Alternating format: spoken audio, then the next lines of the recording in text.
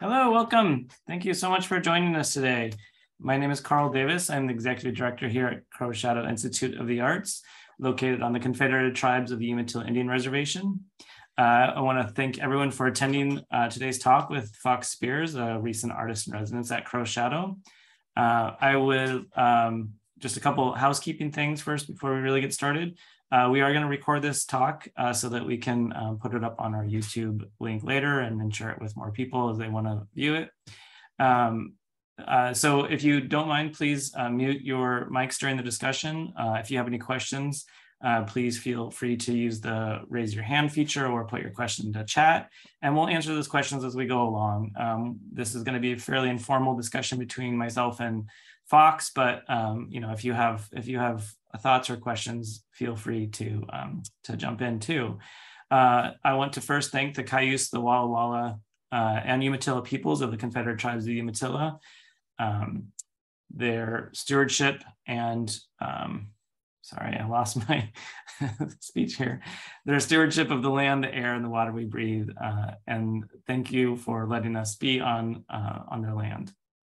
Uh, I also want to thank the board of directors of Crow Shadow uh, for their time and effort and expertise um, over the years. And I also want to thank the staff of uh, Crow Shadow, Judy Baumann, our master printer, Maggie Middleton, her assistant, doing two things at once here, uh, Sequoia Connor, our uh, traditional arts coordinator, Ella uh, Mara Kettler, managing our uh, marketing manager, and our volunteer extraordinaire, Sandra Westford, for all of her time.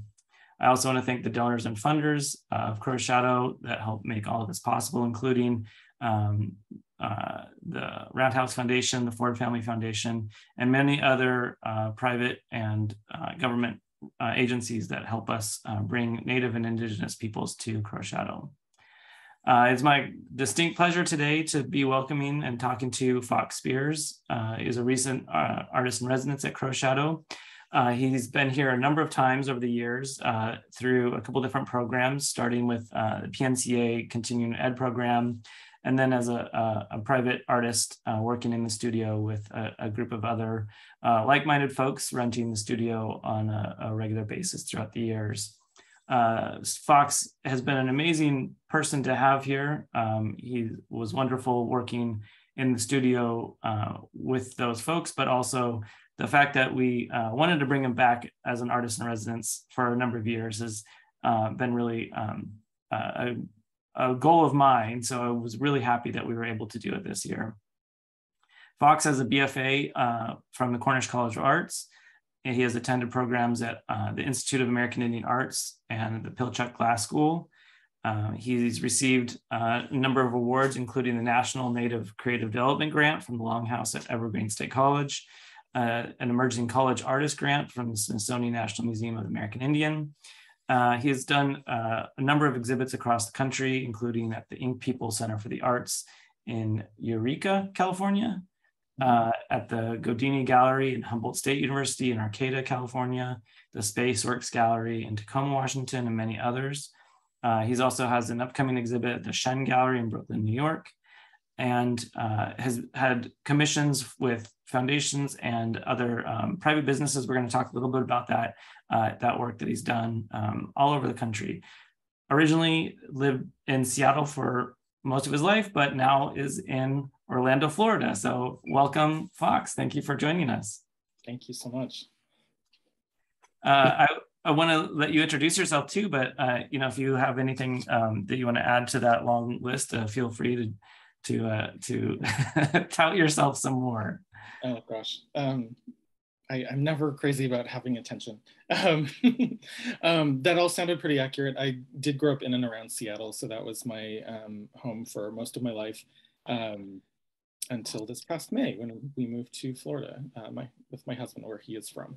So we purchased a house here. So that's been a big change. Um, I'm also an enrolled member of the Karuk tribe, um, which is on the Klamath River in Northern California. Oh, sorry, my phone doing things. Um, yeah, that's that's probably probably the only other thing I'd mention. So uh, to kind of start, uh, just to let people know, we're going to talk a little bit about Fox's time in studio, about his residency, about uh, his practice, and how that might have been um, influenced by uh, his time at Crow Shadow. Uh, but do you want to talk a little bit about your your history as an artist, like where where that kind of comes from, and and uh, how it's I think I I think it's evolved over years and in, in, in your yeah. practice. Yeah, um, so I ended up uh, going back to college 10 years after I graduated from high school. Um, I had just been doing a variety of things and I, I'd wanted to go to Cornish uh, back when I graduated from high school and just it didn't seem possible. So I was like, okay, I'm gonna make this happen. Um, but at the time I was like, well, I feel like, you know, design seems like it's a combination of the creative and the practical. So maybe that's, maybe that's like a, a better thing to pursue or like it's more, uh, more practical, I guess. So um, I did attend Cornish. I have a BFA in design with an emphasis in interior design. Uh, but while I was in school, I really gravitated much more towards art by the time I by the time I graduated. Um, and I think the the biggest the biggest influence um, on what really started me thinking about um, art more specifically, and I think contemporary native art, uh, was a summer between my freshman and sophomore year when I was um, doing an internship at the Cooper Hewitt Design Museum in New York. And I saw work um, in an exhibit called Off the Map at the National Museum of the American Indian uh, satellite that they have there uh, at the George Gustav Heye Center, I believe. Um, it included work with by James Lavadour, which is how I first, like, I was like, oh, I mean, there was so much amazing work. Erica Lord, um, Emmi Whitehorse, Jeffrey Gibson. His stuff is so was so different than what it is now. Um, so it, it, just really was mind blowing to me, like seeing all of this work. Um, and the next summer I had is when I had attended a course at Pilchuck Glass School, and that's when I first uh, did any printmaking in the vitreography studio fell in love with it, knew I needed to do more printmaking immediately. Um, and you would think I would have done that at Cornish, and no, I did not. Um, but I remembered when I had read about James Lavadour about Crow's Shadow, and I was like, oh, that's not that far away. So it was always kind of in the back of my mind. And then um, my senior year, or maybe freshman year, I don't remember anymore. Uh, what is time? Um, is when I, I finally was like, okay, I need to go down there. So actually the first thing I came down for was a monothon event in 2009. And then in 2010, I did um, come to um, my first PNCA workshop, um, which was phenomenal. And that just kind of, it went from there. So really, really I'd say Crow's Shadow and, and the continuing time that I've uh, come down there and spent time working on my art has been foundational for me as an artist. Um, it's been kind of the the thing that I've always done. so. so. how how does your time uh, as an artist in residence differ from your time coming uh, as a solo art? You know, I, I, don't know how to describe it as a independent artist uh, working on your your own work. Yeah. Um, it's very different. I see a couple folks that I recognize from shop or workshops and or like studio rentals. Hello. Um, it was really it was really weird being there by myself so i'm so used to being there with a group of other people. Um, so that was kind of strange. Um, also i really got to spread out like just like ah use all the tables and put everything everywhere. Um, it it uh oh gosh I, i'm trying to think like really how to describe it. I think my process like i kind of have down what i do with my monotypes now so i'm pretty self-sufficient so even though I really could spread out more, I probably didn't as much as I, I could have. And I think since I don't, um, since my printmaking time is usually uh, restricted to when I'm able to spend time in other studios. So at Crow Shadow, that's been uh, the main place where I've done a lot of work. Um, I tend not to do too much of it outside of that. So there's always a little bit of time kind of like, oh, right, like, what am I doing again? Like, how do I do this again? What, what's my process? Um, and so that that was there, but there were there were less people to kind of talk to because I'm kind of used to like, oh, what are, you know, how are you doing? What's what's up? What are you working on? Like all that type of stuff. Um, so it, and it was wonderful. and this is the first time you you worked with, with litho specifically, is that right? Yes, yes, that was also very different. Um, so we ended up doing um, some litho backgrounds first, and then I was doing my monotypes over them. So there's a few series of monoprints that I made, and then we were working on two um, litho editions, one of which we ended up scrapping because really I feel like I feel like it ultimately it wanted to be a monoprint. It didn't want to be a litho. Um, but the other one I'm really thrilled about and um, isn't necessarily shown in the images here. Um, I really appreciated that Judy helped me kind of elevate my work and my idea. It would have been very simple. I was kind of thinking of, oh, we can have, you know, do this this type of a background and have some chine collé elements. And she's like, okay, well, we're gonna do this. And now I'm blanking on what she was, on, on the actual term for it. Um, anyway, um, she's like, okay, well, I'm gonna have you actually like, we're not gonna just print these digital things and chine collé them on, you're gonna draw them. Um, so, you know, then it's like, oh, okay, I'm drawing all the layers on the light table of the CMYK image. And um, it, it, was just really fascinating getting to do that type of stuff. Um, and I think also kind of, you know, I, I still I still don't feel like I understand lithography super well. Um, so it was really amazing getting to see her and Maggie working on those pieces together, um, seeing things as they developed, and um, you know I don't know. It's it's it's hard for me sometimes to call myself a printmaker because I feel like I just kind of picked up and figured out whatever it is I'm doing. I don't really have formal, any formal training I've gotten in printmaking was, you know, probably from Frank Janzen when I first started coming down, um, as well as just, you know, talking to other artists while I've been there at different um, uh, classes or workshops um, or studio rental time um, and just kind of playing around. And I think what I love about printmaking is so much of the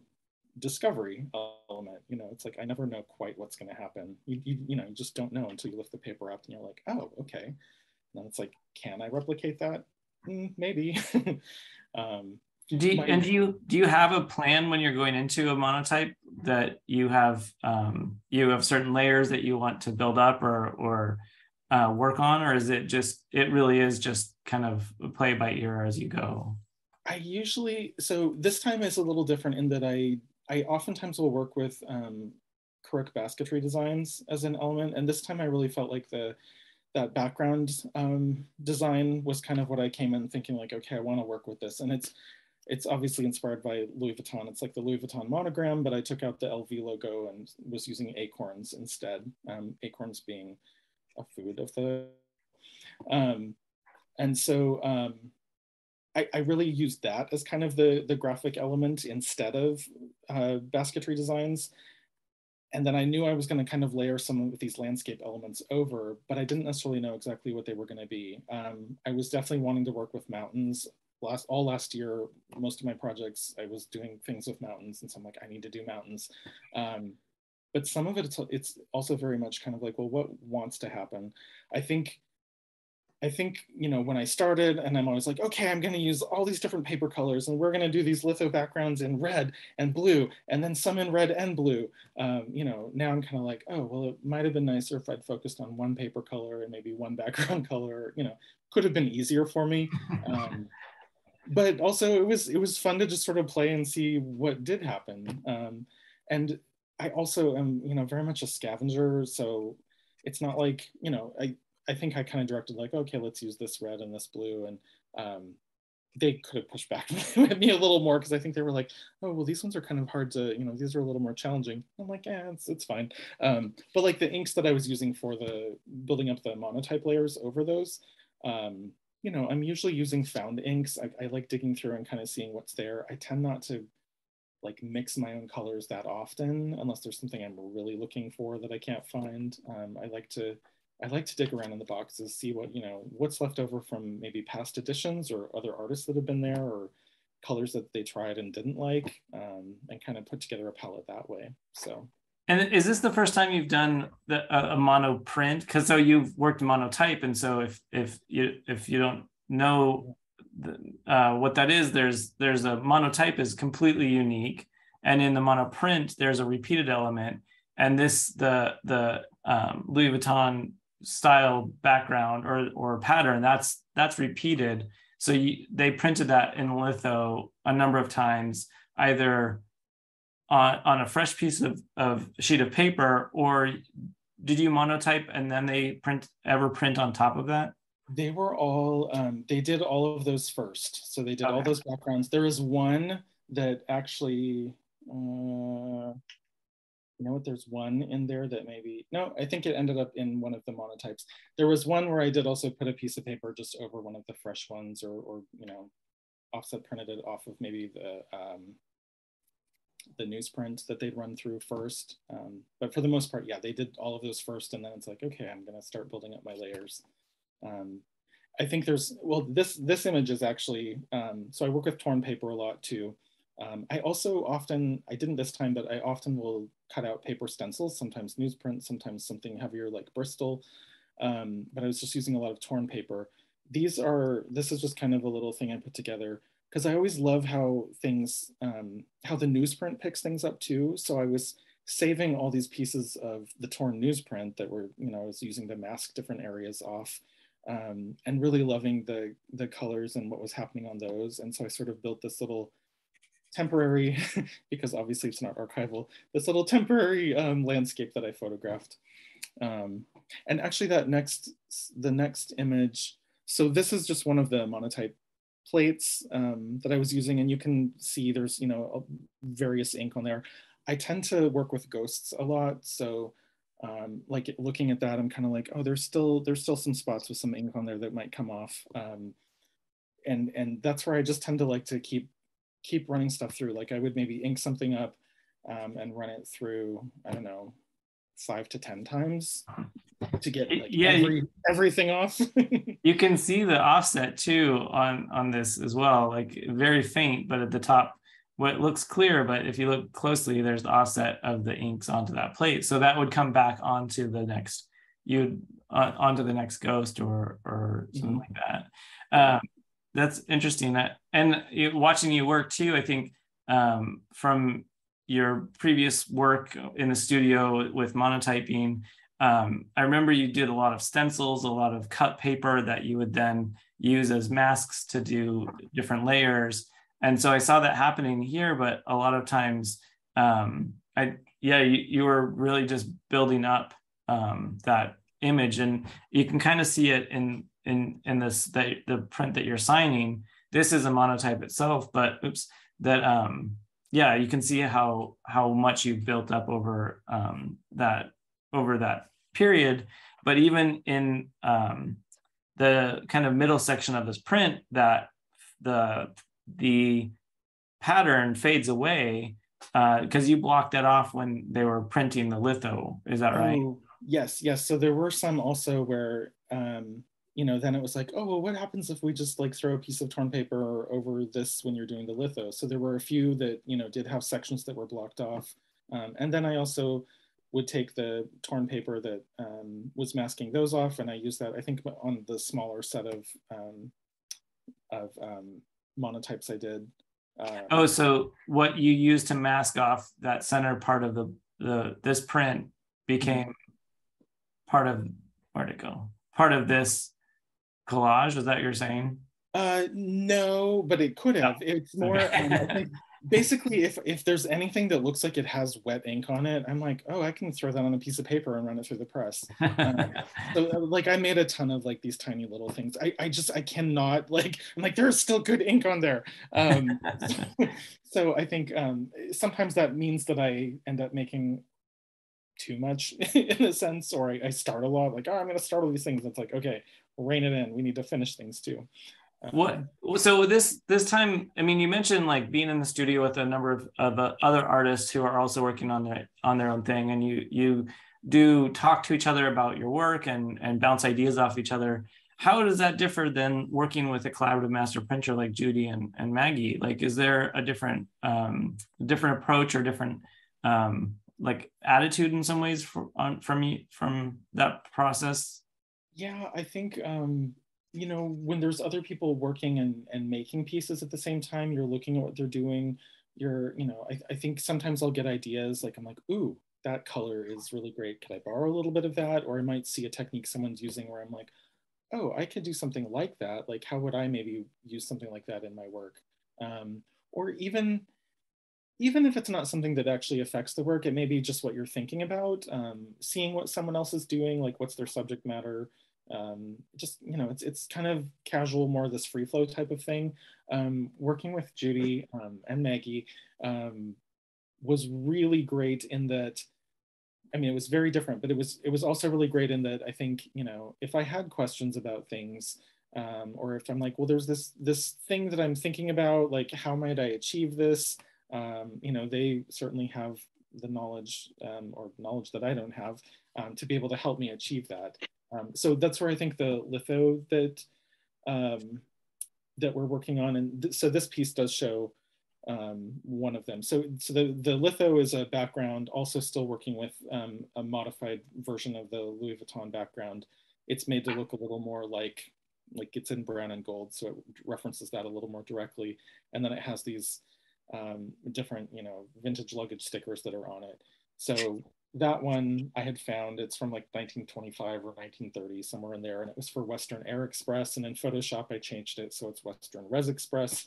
That one was easier because it was just a single color one. Um, there was also this Welcome to Oregon one that's we did in CMYK.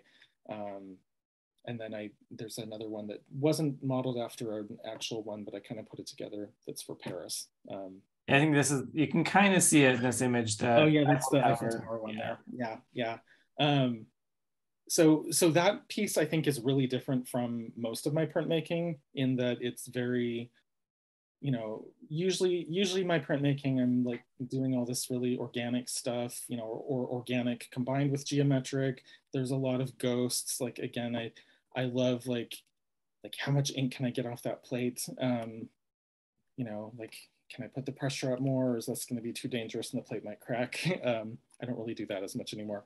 Um, but I, I, will say I did I did crack a plate with uh, Frank for sure. Um, and um, yeah, yeah. So so the litho edition I'm really excited about because it's it's just very different from what I've done before. But also, you know, it was a way to really. It's nothing that I probably could have done on my own. Um, I, it's just you know, it's not a the technical skills that I have or the type of printmaking I do. Yeah. So I I am thrilled that I was able to make a lot of work that feels very much like the type of work I make, and then also something that feels a little new and different too. Um, so, do you think, in some ways, that that collaborative process do you, do you feel that that was a you know positive aspect, or and how how would you incorporate that and back into your own work then, or is that something that you'll just set aside and and continue doing your own work separate? Think um, I think it definitely is something that will affect my other work. Um, I think uh, you know I'd, I'd, made I don't know that I have images of it, but I'd made a, a, drum. Like I don't make a lot of 3D objects, but I'd made a drum and it incorporated some Louis Vuitton pieces in it. Um, and so that's kind of where I've been thinking about this Louis Vuitton idea, thinking about and I, I, originally did that thinking about like wealth building and what that meant for my tribe traditionally, and then thinking about what that means in contemporary uh, times. This is kind of going away from the question, I guess. um, but I was, um, I, I, think it's more something where I, I really like collaborating with people. Um, so I found that really fun. You know, Judy was very respectful. She's like, you know, your monotype process is your thing. She's like, I don't necessarily want to, you know, add my chop mark to something if it's really yours. And I'm like, mm, this is all collaborative. Like, you're absolutely helping me. And um, she ended up not on the monotype series I did, which still I feel like she could because it includes some like offset um, pieces of this design from the litho, but none that were made specifically for it. And that those were all smaller ones. Um, but definitely this, you know, like I, I couldn't have done something quite like this on my own. I, or if I did, it would have been extremely tedious and I would have been like cutting paper forever and um, it just wouldn't have been the same. in terms of um, your your general practice though too and i wanted to talk a little bit about this uh, installation work that you've done. Um, your your work is it it scales so beautifully. It it does have kind of a, kind of an infinite approach in some ways. Um, the geometric abstraction is is very relatable and uh, it's organic in a way that like humans can relate to it on multiple scales. Uh, how did you find this piece is prior to your time at Crow Shadow, but um, I feel like there's there's some elements of your monotype in this process. And and do you want to talk about a little bit about this and maybe the yeah. the, the, process for this as well? Yeah, definitely. Um, so uh, curator with Facebook or Meta as it's now known, um, Meta Open Arts, um, had reached out to me about potentially doing something at one of their locations. Uh, they they're working with a lot of artists to kind of fill a lot of their spaces with art, which is really exciting. Um, and I was kind of like, well, I don't know. I, I, think for me also, I'm very much like, well, what do you want? And it was just so open. It's like, well, what do you want to do? Um, and I'm like, oh gosh, I don't know. Like, I have no idea what I want to do. Um, so I kind of went through a few different iterations of things. I landed on the idea of this, but I think I was also still kind of struggling with, well, how do I, you know, I didn't necessarily want to go in with an idea fully formed and be like, okay, this is exactly what I'm gonna, you know, here's this piece of art and I'm just gonna do it larger on these walls. Um, but I certainly didn't want to just go in and wing it either. Um, I did end up hiring um, uh, Lena Cholowinski from Overall Creative, who they do a lot of murals in Seattle. Very helpful. Um, she really helped me figure out kind of some of the materials and, and methods of maybe what would work best. Um, and then it was kind of like, okay, I have this general idea, like this is what it'll be on this wall, this is what it'll be on that wall. Um, I, I, think it, it, really came together for me when I started thinking about, well, how would I how would I approach this if I were doing a print? Like if I was making a monotype print, what would I do? Um, and I was really like, oh, okay, well, I just need to figure out what my ink colors are. I need to figure out what the elements are I'm going to use, and then just go in with that idea and then see how it develops. So it was again very much about layering. You know, we started with the lightest color, and I think that was I forget what brand paints we were using, but it was called Jersey Cream. I remember that. Mm-hmm. Um, and then like we had a, a, blue that was indigo, and the red was I think it was called Real Red, and we really just had those three colors, and then we would kind of mix them. Um, mix them together to get the lighter colors. We also used some acrylic transparencies um, as well. And it was just kind of putting putting them together. And and I did use torn paper to mask off in some instances um, to get the the more yeah you can see the torn paper there. Uh, was using kind of a, a, big palette knife or maybe it was even just pieces of cardboard at times to sort of get that more uh, mixed uh, or not mixed um, mm, I don't know the the pieces that are a little airier and you can see through them a little more. Um, so it was a little bit of experimentation. It was a little scary to approach this like stark white wall and be like, okay, let's mess it up. um, but it was so much fun. Um, and I had been wanting to do something really large. I had done one other mural in the past that was not really, it was more just they, they took a piece of my work and kind of we, we did it based off of that. Um, so this was a lot more fun to do. It, you know, had these 3D elements, they're slightly 3D. So there's these triangles that were um, MDF we painted red. There were strips of felt on those. I did beading on some of the strips. Um, you know, this wall kind of just has them all running uh, together in one way. The other wall has sort of this larger grid um, that was based off of a cooking basket pattern. And on the other side of that is the cafe. So that felt kind of appropriate to me. Um, yeah, it to me, this felt very much like a larger extension of my printmaking. Um, and and then you had another commission too. Is this is for a different company too? Yeah, this was for Starbucks, um, and I realized I didn't have the image of the six that they chose. So they had asked me originally for five prints um, that they would then.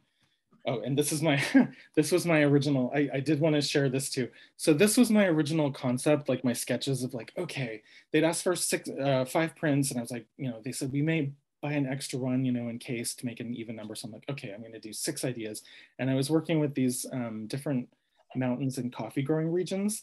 And so I came up with this like, oh, it's going to be very specific. Like it'll be, you know, this type of mountain here and that type of mountain there. And these are the colors. And, um, and I was like, oh, also, where am I going to make these? Like it's the middle of the pandemic.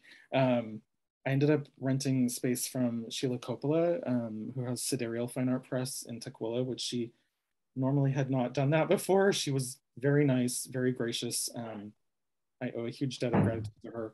Um, so this this is in her studio. Just I had them all all up on the wall. So with my process, I tend to you know like I make a lot.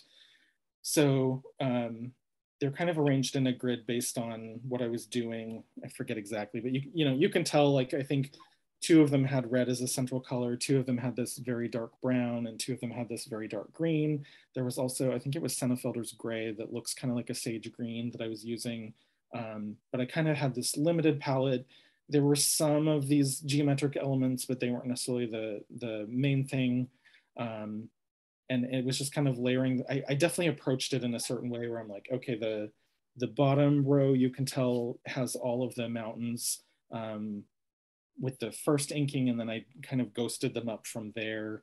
Um, anyhow, so Starbucks chose six of six of those and I forget which ones exactly. Um, and they're gonna be, or they're gonna be used for um, um, in new stores, like as the as the designers are working on those, they can be reproduced um, to be installed there. And then they also were like, you know, what, what are we going to do with the rest? I'm like, oh, I don't know. Like technically, you know, with the contract, you kind of own them. I was like, I could destroy them or I could, you know, I, I can't really do anything else with them.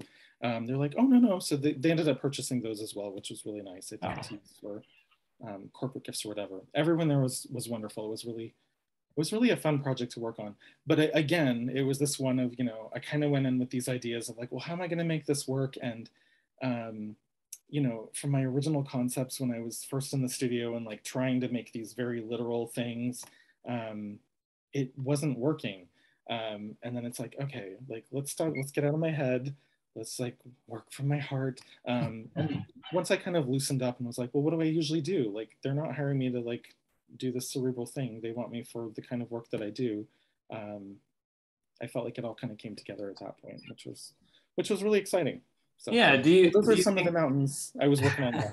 do you think that that that experience of of commissioned work uh, has like how, how do you feel that that works with something like collaborative printmaking or or working on your own? Like I I, I feel like there's a, a moment of of people coming to Crow Shadow to do collaborative work with Master Printer, and they feel like they're, you know, I'm, I don't want to put words in your mouth or any artist mouth, but you know, there's there tends to be an, idea of um, not forced creativity, but like pressure to create, and that's mm-hmm. something we try to like pull away from.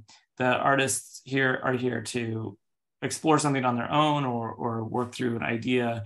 Um, you know, it's great that we end up with publishable publishable prints at the end um, but that you know we try not to uh, dictate like what exactly they'll be creating and so something like a, a commission where they say we want six images and they're, they're going to be this size and and incorporate you know a specific color palette do you do you find there's a difference in that and how you reacted I think, you know, they actually were very open. The, the commissions I've had have been very free and open. And I think any restrictions that have felt restrictive have been ones in my own head that I put on myself. Um, I, it does feel, it does feel comparable in a way to coming to Crow's Shadow.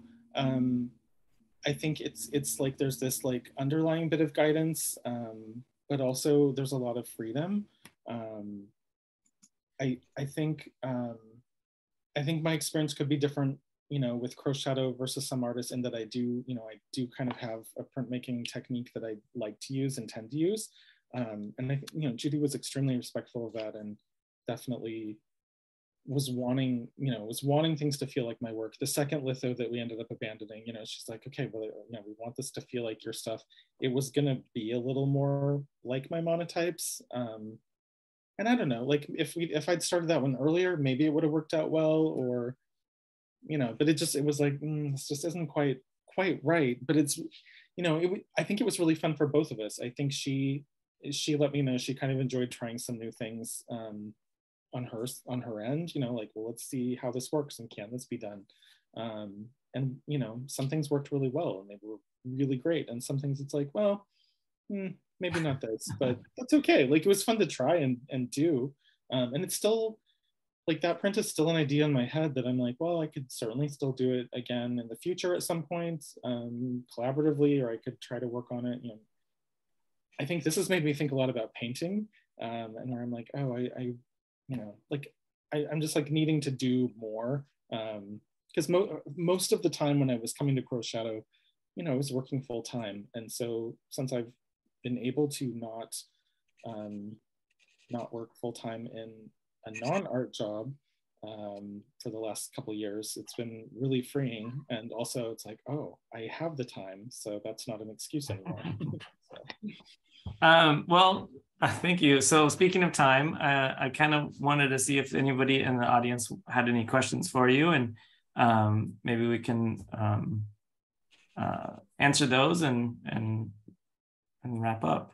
Um, so yeah, so th this is the time now. If you have any questions for Fox, uh, feel free to jump in or raise your hand or type it in chat. Um, uh, in the meantime, do you want to talk about any upcoming projects that you have going on or um, any exciting news that you might have? I know you were here, you went up to Walla Walla one day to meet with the Foundry folks there. And Yes, I have um, a public art project um, in Seattle that I'm working on still that probably wouldn't think it would probably be installed like in 2025. So it's, it's a ways out, um, but it's in a new development um, on Rainier and 23rd, a little north of 23rd. Um, that's been really fascinating. Also like a completely new new process and and and type of way of working. uh, I have uh, it's funny, like I moved and I still have all these things in Seattle. Um, so there's another uh, project I'm working on with a high school in Seattle for a land acknowledgement mural, um, which I'm excited about. I think that'll be really fun. Um, oh, I'm trying to think. I have lots of I have lots of um, lots of ideas for things that I'm wanting to do. I'm really wanting to do more beadwork. Like I did a little bit of it in that mural, but I have I have ideas for um, some maybe more not necessarily traditional, but um, smaller scale, like not sure. we, we did have a question that came in the chat. Okay. So Stephanie asked, do these organizations, well, first she said, wonderful work. So thank you. Uh, do these organizations come to you with a budget or do you have to determine how to price the work to ensure they are, you're paid fairly? Um, that is a wonderful question. Um, so I'd say I feel really lucky in that all of these opportunities that I was sharing, people came to me about them. Um, so they did come, they're like, you know, this is kind of our uh, approximate budget. Um, maybe the Facebook meta one didn't say specifically, but there was, you know, some talk back and forth and it's like, okay, like here's a general idea. Um, so that's been nice where I haven't had to worry so much about that. I have for this more recent um, uh, piece uh, or this more recent um, mural that I'm project that I'm working on, you know, they were like, oh, you know, what, what would that cost? What's your fee? And I'm like, oh gosh, I haven't really had to think about that. So that that's something I'm definitely like, oh, how, how do I, how do I price this? How do I value my time and the effort? And I have to really start thinking more about, um, you know, well, how much time does it take? What do I anticipate I will be spending on this um, in time and, and or materials? Um, but yeah, those I feel really lucky about those um, about those other opportunities where they were very generous and it was just kind of like here's this budget and we invite you to create some stuff. So. That's great. Um, I had a question that I thought of while you were talking, but now I can't remember it, so I apologize. um, yeah, it, yeah. Um, does anyone else have any questions for Fox? about his time at Crow Shadow, about his work in general? Yeah, I have a question. Hi, Fox. I'm Leslie. Um, I was just wondering, given your recent move to Florida, but also having all these kind of ongoing projects on the West Coast, I guess I don't know if you traveled a lot beforehand, but is this kind of this opportunity, if you want to look at it that way, to travel more and do art more across the, you know, across the US, North America, et cetera? Have mm-hmm. you thought about any more about that? I mean, if you're open and comfortable doing that, I guess. Yeah, definitely. Um, my husband was very uh, nice in asking, you know, when we were talking about moving and, um, you know, we were wanting to buy a home, thinking about where we wanted to live. Certainly the Northwest is very expensive now. Um, and, you know, he's like, well, if we move to Florida, you know, are you okay with that? I feel like there are things happening with your, with your art career here. Um, and, you know, I was like, well, yeah, you know, there's stuff happening, but I also feel like I can you know, I can do artwork most anywhere. And there also are potentially other opportunities, you know, and being on the East Coast, closer to New York, um, very, you know, various other places. So I'm, I look at it as an opportunity. I think it's, it still makes me laugh a little that I have all these things that are Seattle based. Um, and I did have a curator reach out to me about a commission that uh, was for something in Spokane. Um, and then, you know, it's like, just FYI, I am in Orlando now. and they're like, let's check. And they're like, okay, our client wants people in the Northwest. And I was like, totally get that. You know, that's totally fine. Um, but you know, I, I think if any, I think for me, there's there's more opportunity, and I'm definitely open to open to the open to seeing what else is out there. So yeah. Thank you. All right. I right. did Oh, I go was just ahead. gonna mention, I was just going to mention, I did have that drum that I talked about, which um, the National Music Museum purchased, and they're in, I'm blanking on the name of the city, but they're in South Dakota. And so they were like, oh, you know, would you be interested in coming to South Dakota for something, you know? And I'm like, I've never been to South Dakota before, so sure, why not? Um, yeah, definitely. And is that that's part of an exhibit that's going on right now, or is that coming up? Um, they are redoing their permanent galleries. So I, my understanding is it's going to be um, included in their permanent exhibit when it reopens. Um, I don't have a lot of details on that. I just, I had it listed with Stonington Gallery in Seattle and I knew it, it sold and then they reached out to me through my website and I was like, oh, you purchased it. So that was really exciting and definitely uh, That's very cool. yeah. Uh, yeah, uh, we have a show of crow shadow work at the Plains Art Museum in North Dakota, right in Fargo, North Dakota. So you know, it's a, a short drive. Apparently, they're small states, right? Uh. so Pam has, um, oh, she just mentioned. So she says, "Thank you so much, Fox." And you probably read this chat, so I don't know if I read, read it out loud, but thank you, Pam. I really appreciate that. Um, yeah. So the uh, mono prints that Fox worked on, uh, they're finished and signed and chopped, but we do have to photograph them and to get them on the website. And right now they are starting, the studio is getting underway with printing Natalie Ball prints. So there might be a little bit lag before we're, we have the mono prints on the wall, uh, on the website. And then the actual edition work, um, that's, you know, now down the docket. So we have um, three other artists in, in front of, of uh, Fox's prints to, to get through not Natalie Ball and Dyani White Hawk, um, Jim Lavadour, and um, uh, um, Lisa Jarrett are all kind of in line now to get done. So it might be a while, probably in the spring of next year before we see the finished uh, edition work, but the monoprints will be done uh, very soon, relatively, and on the website. Uh, so we'll let everyone know uh, via Instagram and newsletter and all that stuff when it, they come out. So keep an eye out for that. Um, and I, am just going to kind of wrap up here too. Thank you everyone for for joining us today. I really appreciate your time. Thank you, Fox, for uh, for making the trip out to Shadow uh, to the Northwest and um, and and being here was such a wonderful time. And I think um, it was really special to have you back and uh, working as a, as a resident artist too. It was it was really fun. Um, uh, it's a little bit of more housekeeping. If you uh, uh, aren't aware, we are hiring right now for development director. So uh, check out our website, uh, spread the word. We really want to hire a, a really great development director. Um, and then, um, uh, you know, upcoming things are going to be happening. we have an annual report that we'll be pr producing very soon and an online auction that's going to happen in November, early in November. So keep an eye out for that um, coming up. And Fox has a piece he's so kindly donated to that too. So if you're interested in his work, check that out. Uh, I really appreciate everyone's time. Uh, again, we'll probably upload this to the website uh, and the YouTube uh, in the future. So if you want to revisit this talk or let people know about it, um, please share. And uh, I hope everyone has a great day. So thank you, Fox. Absolutely. Thank you so much. It was a dream. Thank you. Bye, everyone. Thank you. Bye.